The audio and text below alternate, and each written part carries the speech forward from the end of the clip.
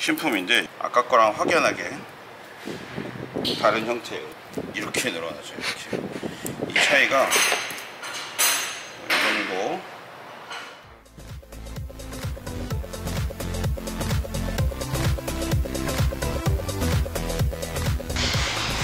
전날 이렇게 분해가 돼서 퇴근을 했었고 오늘은 이제 타이밍을 먼저 맞추고 타이밍 체인을 바꾸는 작업을 하려고 해요. 일단은 상단이 헤드 쪽에 상단이 보이니까 타이밍 먼저 맞춰 놓고 그러고 분해해서 체인을 휘리릭 교환을 하려고 해요.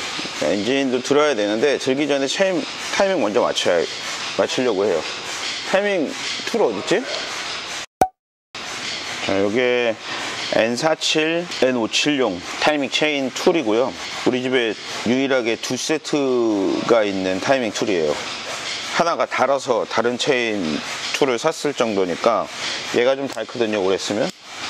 타이밍 tool을 달아서 두 번째 살 정도면 이 차에 타이밍 체인이 얼마나 문제가 있는지 가늠할 수 있을 거예요. 자, 이제 타이밍 tool 루이? 어, 있구나. 없는 줄 알았어. 타이밍 tool을 여기다가 꽂아서 여기에 보면 요 자리 꽂고 여기랑 요 구멍, 요 구멍이 맞아요. 요 구멍. 지금 인젝터가 다 빠져 있는 상태라 크랑크를 손으로 아, 돌아가요. 자, 이 상, 아씨, 거꾸로 돌려야 돼. 이게 지금 엔진이 회전하는 방향이거든요, 이 차는. 이렇게. 이게 엔진이 뒤쪽이니까 이렇게 해서 타이밍을 아씨 힘드네 아 연장이 어디인지 몰라? 아니야 자, 타이밍을 이렇게 꽂을 수 있으면 타이밍이 맞는 거고 타이밍이 맞는 상태에서 요 캠 스프로켓 볼트가 3개가 위로 올라올 수 있게 연장으로 풀을 수 있는 상태가 되어 있어야 돼요. 안 맞으면 반대편이면 볼트 하나가 아래로 내려가는 형상이 되기 때문에 그러면 한 바퀴를 더 돌려 주셔야 돼요. 두 바퀴에 한 번씩 엔진이 맞으니까 자 이제 플라이휠 떼고 요거가 크랑크 크랑크 엔진 크랑크 앵글 센서의 타겟이에요 그래서 이거 가끔 미션 탈부착하면서 실 바꾸고 요거 안 끼는 경우 있어요. 요거 안 끼면 시동 안 걸려요. 그치 세훈아? 미션 두 번 내린 사람이 있어요. 네, 누군지는 모르겠는데 하여튼 있어요. 자 일단 크랑크 앵글 센서의 단자를 빼야 되는데 얘가 앵글 센서 단자를 빼기가 조금 힘들어요. 자 이제 이 차는 아래쪽에 오일팬이 탈거가 돼야지 타이밍 체인을 교환할 수 있기 때문에 엔진을 들어야 돼요. 물론 엔진 스탠드에다 거는 게 가장 좋은데 짧은 시간에 작업을 하기 위해서는 엔진 스탠드에 걸기 너무 일이 많아요. 뒤쪽을 뜯어야 되니까 사이드면에 고정을 하는데 너무 힘들어요. 전용 장비가 아니면. 그래서 그냥 들어서 작업을 보통 해요. 들려면 사람 손으로는 들 수가 없으니까 이런 잭이 있고요. 이 잭은 그냥 우리가 하는 얘기는 코끼리 자키라고 해요. 코끼리처럼 생겼어요.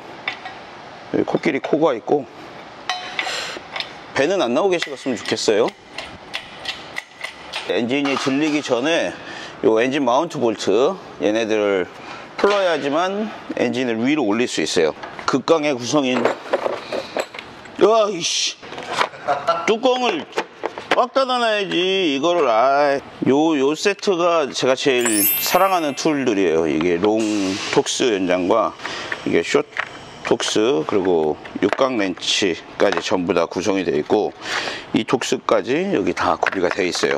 그걸 훔쳐갔었어? 마음대로? 이건가? 일을 잘 안 하기 때문에 사이즈 잘 몰라요. 눈으로 봐서는 잘 몰라. 개시다. 오우씨 반대쪽은 16mm 16mm가 없지 이거. 아, 야 이거 못 쓰겠다. 가장 중요한 게 없네.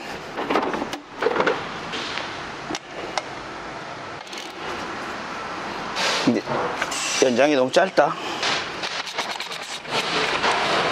이렇게 볼트를 다 풀으면 이제 엔진이 들릴 준비가 돼 있는 상태예요. 이 상태에서 엔진을 펌핑을 하면 자 올라가고 올라가고 올라가고 저쪽에서 떴어야 되는데 잘못 생각했네. 엔진이 나올 수가 없잖아 이러면 아 바보야. 왜 얘기를 안 했어? 뒤에서 매달아야 된다고. 깜빡했어요. 아, 엿 먹으라고 그런 거지? 아, 존나 바보야, 씨발. 아이, 나, 씨. 아, 왜 이렇게 바보지? 아, 왜 이렇게 바보짓 했지? 아이, 바보야. 아이씨.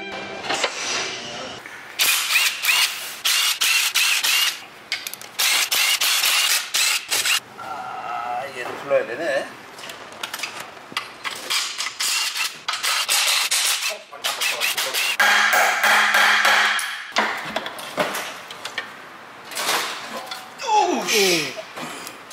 drain 꽉 안 조여놨었어? 항상 다른 사람이 조립할 수 있기 때문에 drain은 항상 조여놓으란 말이야 사고의 여지를 남기지 마 여기는 고압 펌프 sprocket 볼트가 장착되는 위치고 여기에 고압 펌프 이거는 sprocket 볼트를 먼저 풀어주고 타이밍이 돌지 않게 하려고 작업을 작업을 하다 보니까 좀 잔머리가 생겨서 이렇게 다시 감아주고 고압 펌프 sprocket을 풀는 special tool을 이렇게 박아줘요.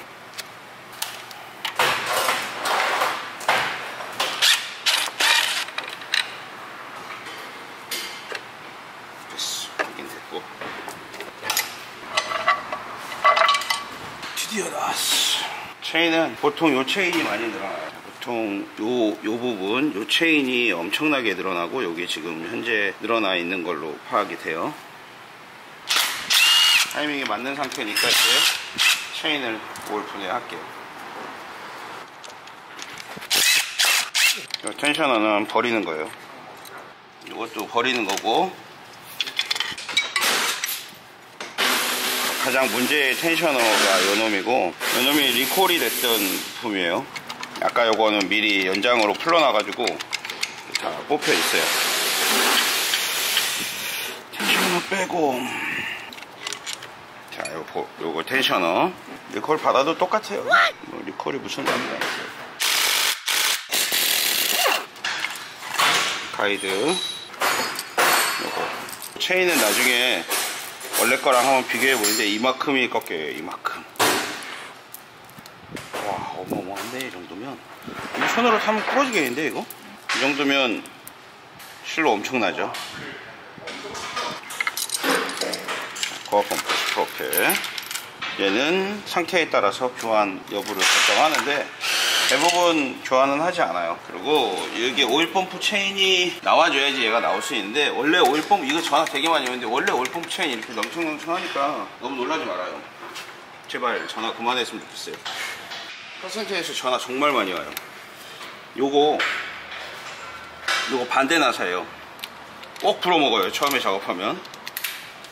풀어는 방향 말고 조이는 방향으로 해야 돼요. 거꾸로 해서 처음 하는 사람들 다 불어먹어요. 거꾸로 돌려요.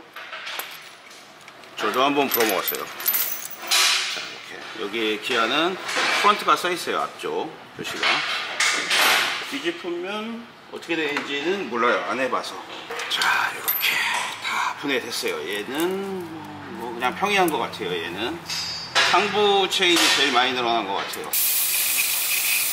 이렇게 해서 일단 기본적으로 오일대를 벗겨줘야 돼요. 벗겨주고 여기 이제 실리콘들은 헤라로 다시 또 한 번 벗겨주는 작업을 해야 돼요. 하부 쪽 타이밍 체인 부품이고 부품 상부 쪽 체인 신품인데 얘 늘어나는 걸 보면 아까 거랑 확연하게 다른 형태예요. 이거를 보면 이렇게 늘어나죠. 이렇게 이 차이가 이 정도 엄청난 늘어짐 이 차이가 나요. 그리고 실제로 길이를 이렇게 해서 대보면 자 이렇게 해서 보면 이만큼 한 칸 정도가 더 늘어났어요. 지금 옆에서 보면 같이 코를 놓고 이렇게 해서 똑같이 이 상태에서 논다고 했을 때